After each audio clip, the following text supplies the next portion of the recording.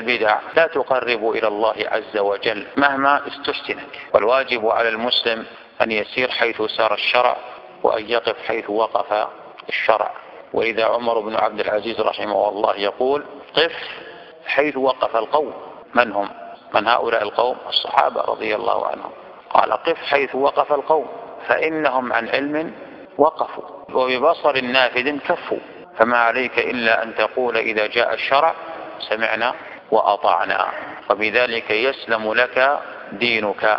ولذا يقول ابن عباس رضي الله عنهما وهو أحد الوجوه في تفسير هذه الآية قال تعالى يوم تبيض وجوه وتسود وجوه قال يوم تبيض وجوه أهل السنة وتسود وجوه أهل البدعة فهذا في يوم القيامة. كذلك في الدنيا فإن أهل السنة تعلوهم علامة النور.